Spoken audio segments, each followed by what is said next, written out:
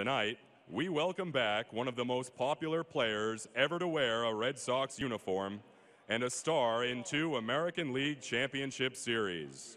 After winning the batting crown with a 357 average in 1999, he batted a whopping 400 in the 99 ALCS against the New York Yankees. Whether you pronounce his first name with an R or an H, please welcome back the one and only Nomar Garciaparra.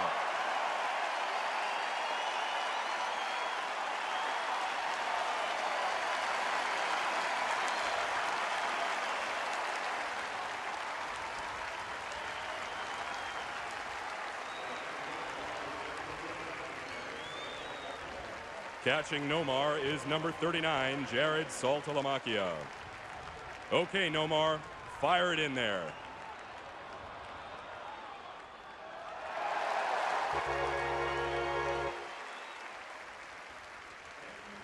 Thank you, Nomar Garciaparra.